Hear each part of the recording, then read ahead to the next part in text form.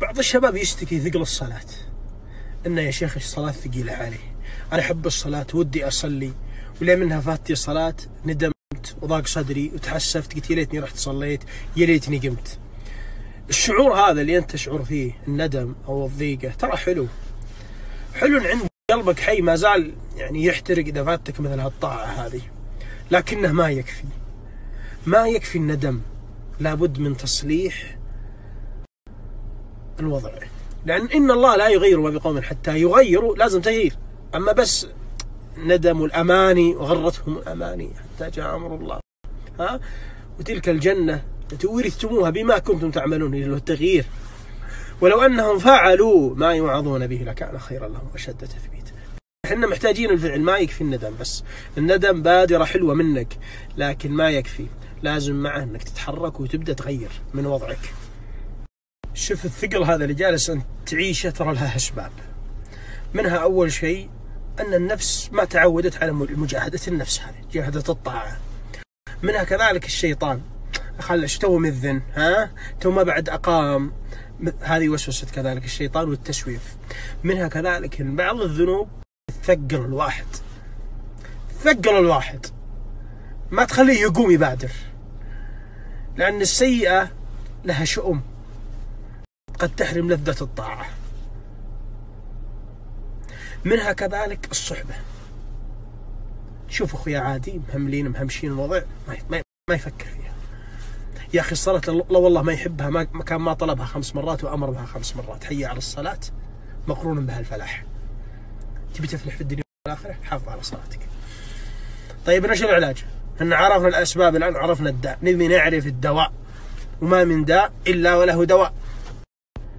طيب العلاج أول شيء خلاص العمل لله عز وجل أنك هذا العمل تفعله طاعة لله وابتغاء وجه الله عز وجل وأن هذا الأمر من أجل الله. ترى يهون كثير إذا كان عشان الله اللي أكرمني وأعطاني تذكرت أنه لله تجديد النية. كذلك تذكر الثواب إذا فعلت والعقاب إذا تركت. هذا موجود في الكتاب والسنة. كذلك الصحبة الطيبة. يعني بعض الأصحاب مخدرين عن العبادة. كذلك منها الاستغفار من الذنوب. لأن ما استقبلت الطاعة بمثل الاستغفار من الذنب. كذلك الدعاء. رب اجعلني مقيم الصلاة. ومن ذرية إبراهيم يقول عليه السلام هو النبي. إمام الأنبياء وأبو الأنبياء رب اجعلني مقيم الصلاة. دعاء أن الله عز وجل يعينك على الصلاة. ربي عني على ذكرك وعلى شكرك وعلى حسن عبادتك.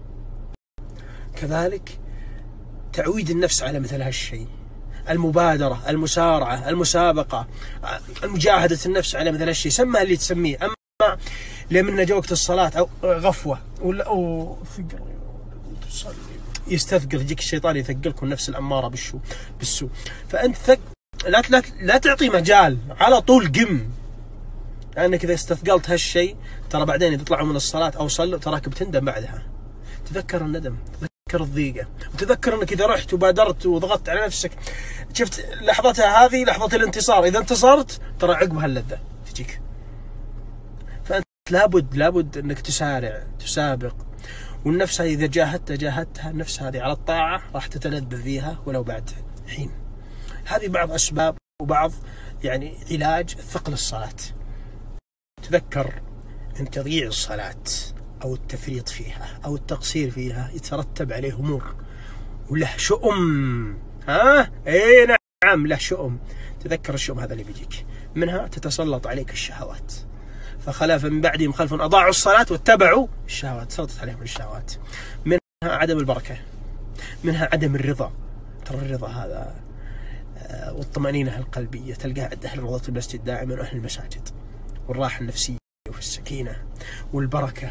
والرزق وأمر أهلك بالصلاة واصطبر عليها. لا نسألك رزقا نحن نرزقك. يا أخي أنت قريب من الله وصلتك بالله عظيمة جدا اللي هي بالصلاة. توقع يخليك أو يتركك. يهبك من الأرزاق من الراحة ومن السعادة من الطمأنينة. إذا تذكر الشؤم وتذكر على نقيضة الفرح والسرور بمحافظتك على الصلاة. الله يجعلنا إياكم من المحافظين عليها رب العالمين ذرياتنا. شكرا. أحيانا يا جماعة ولد عمك أو أخوك أو صديقك أو أحد زملائك أو من المقربين لك أو من اللي أنت مضيفهم بالسناب. يكون واقع في مثل المشكلة أني ذكرت لك هذه اللي هي الثقل في العبادة والثقل في الصلاة في الصلاة خاصة. ف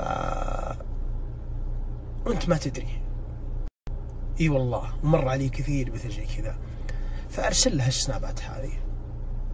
الأجر جايك جايك اللي هو أجر الدلالة أجر الدعوة أجر النصيحة.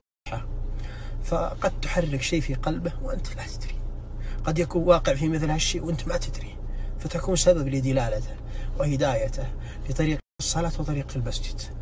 فالدال على الخير يقول صلى الله عليه وسلم كفاعله لا تحرم غيرك. أجر ما سمعت. الله يوفقكم.